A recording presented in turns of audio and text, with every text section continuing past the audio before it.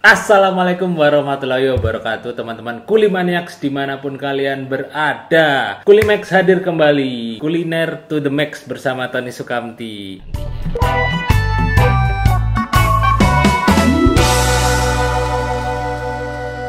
Setelah hampir 2 tahun ya Kulimax vakum akhirnya sekarang coba buat kembali lagi dengan Kulimax di rumah. Ya karena kan kita sekarang lagi menghadapi pandemi nih. Nggak boleh ke mana-mana di rumah aja. Jadi kita harus mengikuti anjuran pemerintah buat stay di rumah aja untuk kebaikan kita bersama. Oleh karena itu, kita bakal pesen-pesen makanan kita cicipi di rumah karena banyak teman-teman yang sekarang dadakan buka usaha kuliner untuk membantu mereka promosi juga kita bakal cicipin satu persatu.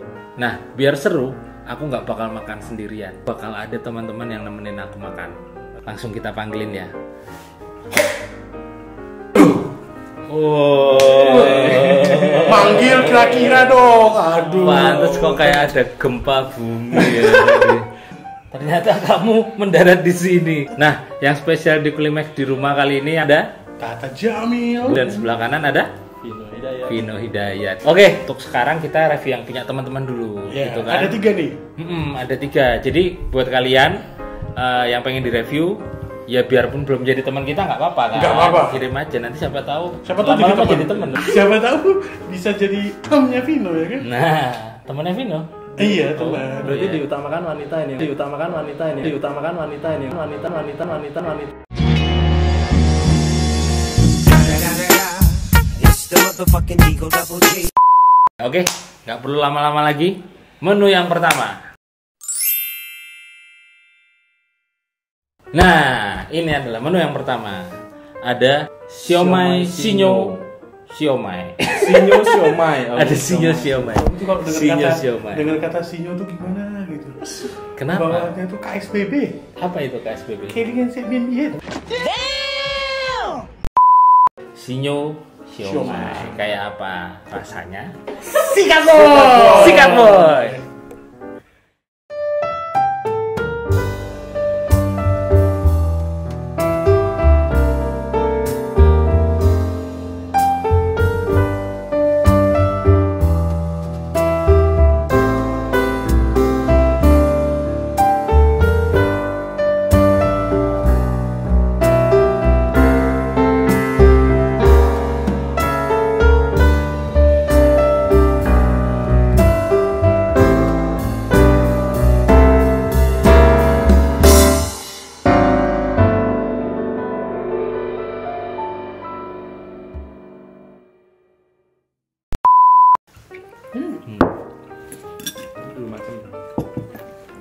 Si sinyo siomay ini selain ada siomay ayam udang, juga ada tahu ayam udang. Gimana rasanya menurut Bung? Udangnya berasa sih. Siomaynya, siomaynya siomay banget pokoknya. Udangnya tuh mantap lah. Dan aku suka kulitnya ya. Aku suka yang kuning tadi sih. Siomaynya. Siomaynya. Hmm, kenapa tuh? Karena aku sebenarnya nggak terlalu suka tahu orangnya. Kalau orang yang suka tahu ini enak sih pasti. Ini tahu termasuk tahu yang enak banget. Ya sih, kalau menurutku juga masih prima donanya Siomaynya. enak. Udang dan ayamnya Belen. itu belen. Cuman kekurangannya satu. Apa? Siomaynya kecil banget. Iya.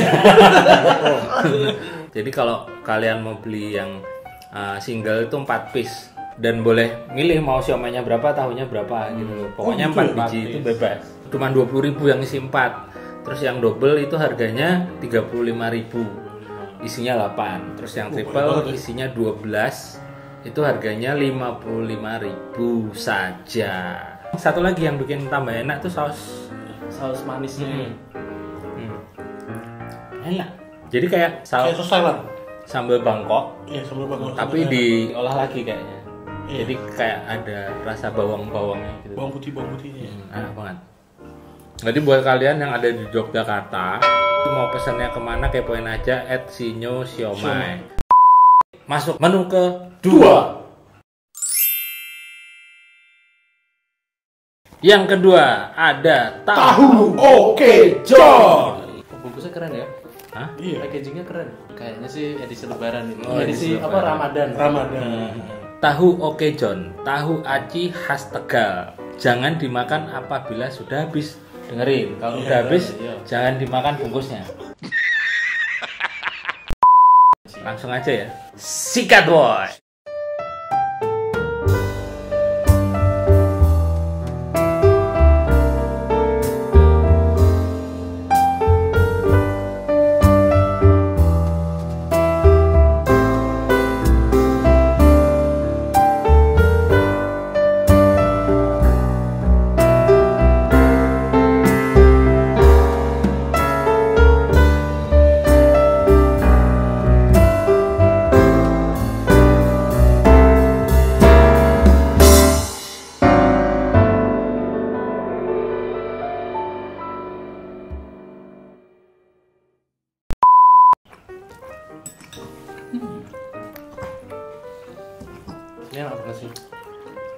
Tahu aja dari mana? Tegal. Tegal, Tegal. khas Tegal. Acinya tuh tasty banget. Jadi apa ya? Nggak nggak nggak kayak tahu aci yang terus acinya plain gitu loh. Rasanya tuh tasty acinya. Coba makan satu lagi ya. Coba makan satu lagi ya. Coba makan satu lagi ya. Satu lagi, satu lagi, satu lagi, satu lagi, satu lagi ya. Jadi tahunya nggak keras gitu. Ini bisa dibilang udah dari agak tadi kan, jadi kita makan tuh udah udah nggak begitu panas, tapi ya tahunya masih enak. Sambal kacangnya enak banget, jadi makin buat tambah menggugah selera karena bau ada bawang-bawangnya juga ya. Dan pedesnya pas nggak terlalu pedes. Hmm, Padahal kelihatannya kan kelihatannya banyak potongan cabenya nih, tapi Hmm. pas nggak nggak nggak pedes banget. Hmm. Dan bumbu tahunya, tahu acinya juga pas, nggak terlalu asin juga. Dan di tahu okejon ini juga selain tahu aci itu Ada ada cibol, aci bola, aci bola, Aci bola. aci bola. Jadi Iya, ada acinya dibulut-bulutin kecil-kecil itu. hmm, kayak kelereng ya. Juga ada sambal kecapnya juga. Tahu aci itu harganya cuman 20.000. 20.000. Satu porsi 20.000 isinya 10 piece. Kalau yang cibol, Cibol harganya 15.000 dan itu kayaknya dapat banyak Banyak, banget banyak. ya. Terus ada juga menu baru dari mereka, apa namanya? Pongset. Pongset. Pongset. Pongset tuh jadi kayak nasi rames, bukan nasi rames, kayak nasi kayak nasi bungkus ya. Bukan nasi juga. jinggo. Kalau Oh, iya. kalau di Bali dulu ada namanya nasi jinggo. Pakai telur, pakai tahu ya. Nah, itu kayak gitu, hampir mirip-mirip satu bungkus tuh udah ada nasi, bakmi goreng, telur, sambel, Sama tahu ini. sama tahu juga. Sama tahu ini. Oke, dan itu harganya cuma 15.000. Murah banget itu. Nah, buat teman-teman yang ada di Jogja juga bisa kepoin Instagramnya Tahu Oke John di @tahuokejon. Oke, menu kedua sudah selesai, masih ada satu menu lagi. Ini dia menu ketiga.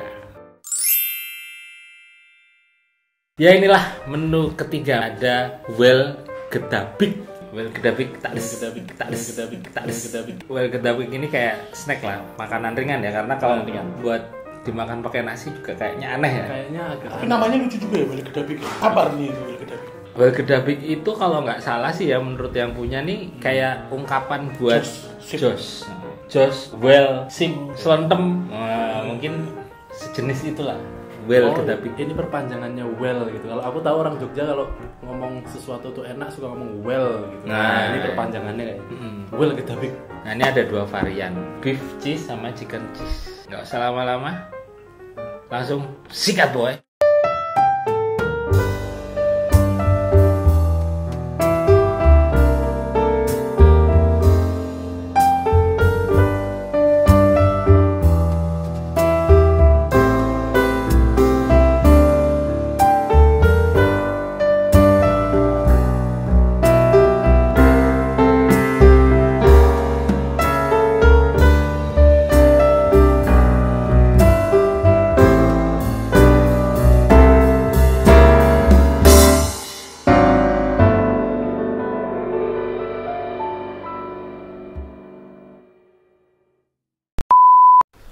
Hmm, hmm, hmm, nggak disangka ya. Ini enak banget. Ini chicken cheese. Hmm. Yang punya Well Gedabik ini ngomong ini bitter balen dari Belanda. Kalau buat orang Indonesia ini kayak kroket. Jadi dagingnya itu kentang, terus kulitnya ada tepung panir ya, tepung roti ya. Oh, roti. Terus dalamnya ada cheese, Cheese-nya sama berasa banget sih tadi. si ayam, Ayam. itu. Ini kalau panas, dimakan pas panas-panas ya. Uh, Di luarnya crispy, dalamnya lembut banget. Hmm, lebih enak dalam kondisi hangat ya. Hangat. Kalau yang beef gimana beef? Cobain yang beef. kita coba yang beef. Tapi yang aku baca ini memang bitterballen ini itu nama nama Belanda. Jadi bahasa Inggrisnya adalah Dutch meatball. Dash itu Belanda, meatball itu bakso. Meatball itu bakso. Oh, Bakso bakso Belanda. Bakso Belanda. Hmm, Ini yang sapi ya?